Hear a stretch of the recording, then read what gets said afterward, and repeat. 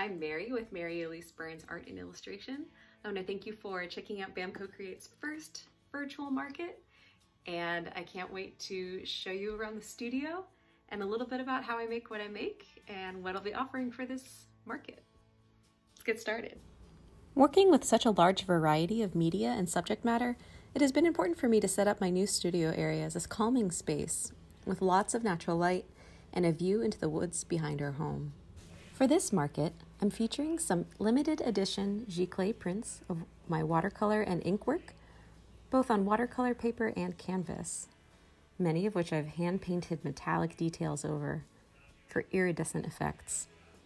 Giclée is a painting process term which deposits color in a spray and creates a fade proof print that is nearly identical to the original work. The canvas pieces are treated with a UV resistant coating that is durable enough to display in hanging frames without glass. The hand painted details make each print truly unique and a great collector's item. Here are a few more prints made up from pen and ink drawings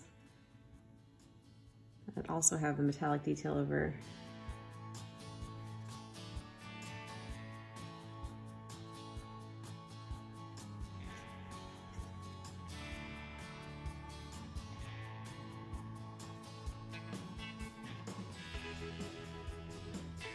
In my collection, you'll find a variety of location themed paintings, both local to Maryland and abroad.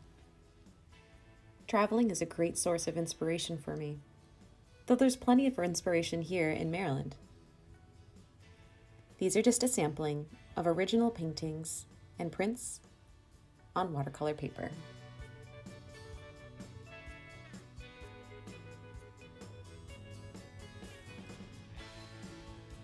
I'm excited to offer greeting cards, each of which feature a highly detailed print of a painting or drawing on high glossy cardstock.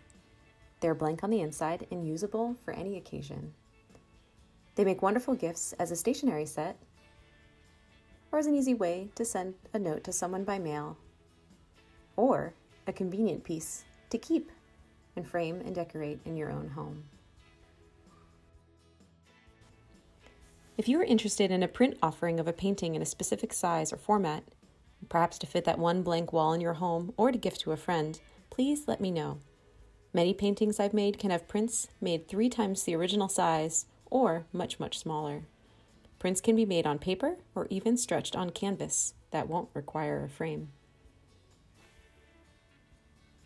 I'm also premiering a few pieces from my newest collection of my recent work made with alcohol inks on Yupo paper.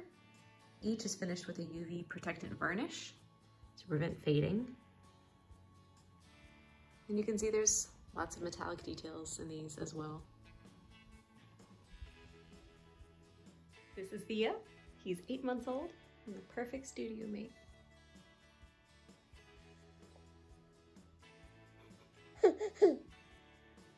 Find these original prints, paintings, and more at maryeliseburns.com. And subscribe to my email newsletter if you'd like to be in the loop for promotionals, news, and other workshops I'll be offering in the future.